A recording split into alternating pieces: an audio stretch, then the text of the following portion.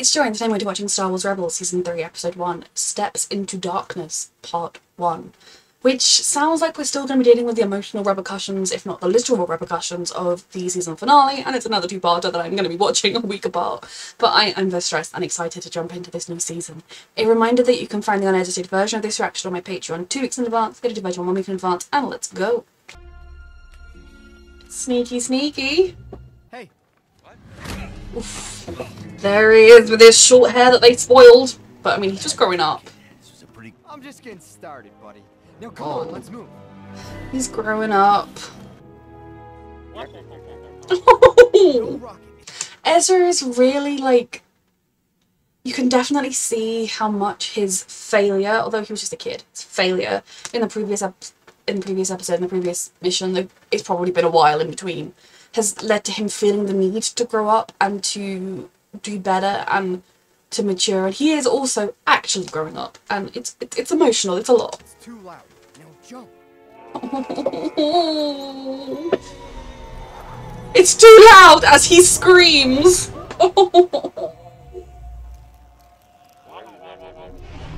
Petra? Ezra, you didn't need to let him fall that quickly. But you made it, Chops. Welcome, How's Kanan? Bandogo and Ezra Bridger. I thought so. How you have grown. He has. Baby boy. Now we're rescuing two people. Hey, twice the fun. Look out! Why are we just standing around chatting?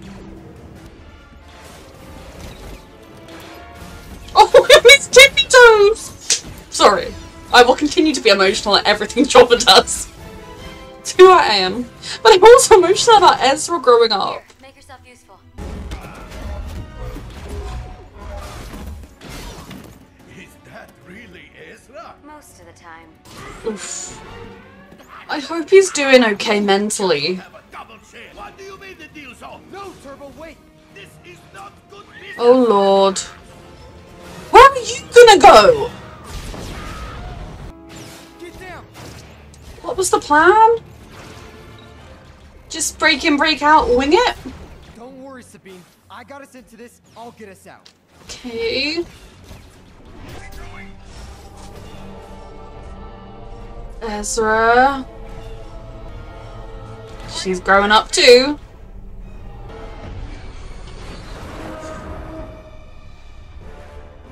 He's changing. And teach you that. He didn't. Oof. Ezra, be careful, please. I don't think you're in a mentally healthy place right now. Ezra used his Jedi mind trick on the pilot. Pretty wizard, eh? I did what I had to do. Ah, got Someone just give him some therapy quick. I appreciate the risk. I was responsible for what I knew. We went to get Sir. Hondo, and here he is. I'm sorry about Terba. He's not doing alright, is he? Oh, fuck. I don't like this. They Is it. never would have succeeded without me. Don't they know that? Your anger gives Oh, you strength, fuck. gives you focus. Friends cannot. Sweetheart. It's slowly but surely brainwashing you. They become stronger, more powerful. I will never let my friends get hurt again. Thing is, it's coming from such a place of love and compassion, which was like some of Anakin's slide to the dark side, and I don't want to watch happen again.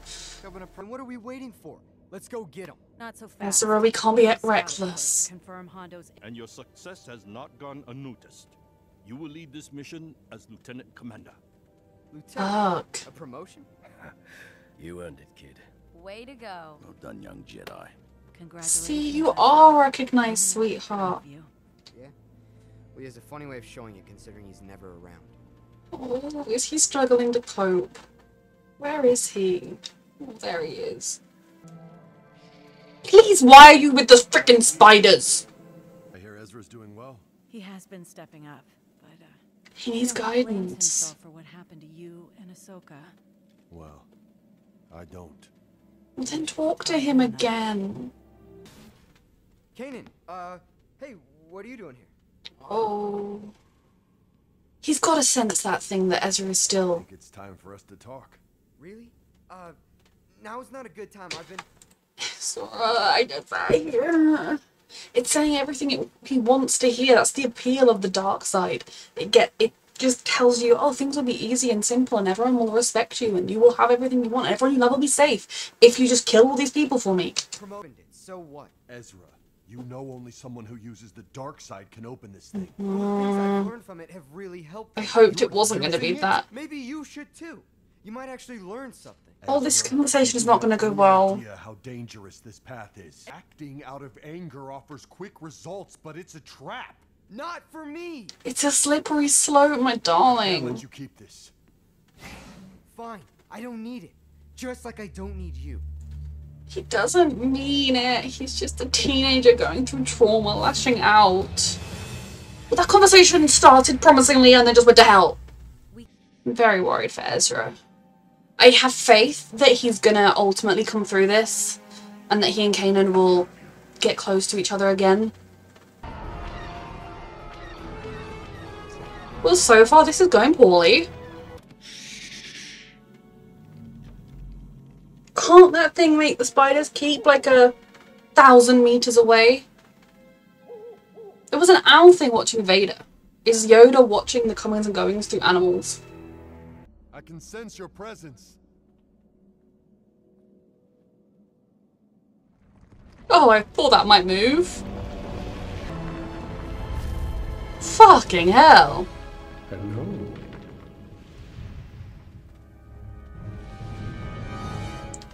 Hey, friend. We could do with some new friends around here. Wait.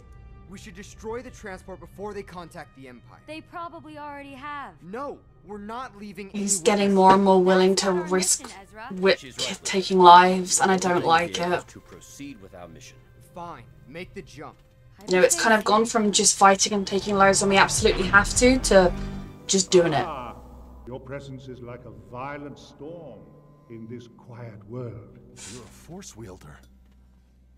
But you're not a Jedi. Wielder? Hmm. Jedi and Sith wield the Ashla and Bogan. The light mm. and the dark. I'm the one in the middle, the Bendu. Fascinating. I am Kanan Jarrus. His little snail friends. Even the desire to do good can lead some down that path. But only you can change yourself. Why do you have it? It keeps the spiders from attacking me. May I see it? He's gonna break it, and I don't want spiders to come, okay? The only thing protecting me from those creatures. You believe that, but you must learn to see things differently. I just. You could have given him this lesson in a way that didn't involve me having to be unable to look at the screen because of spiders. Not anymore. Oh. No, you are unwilling.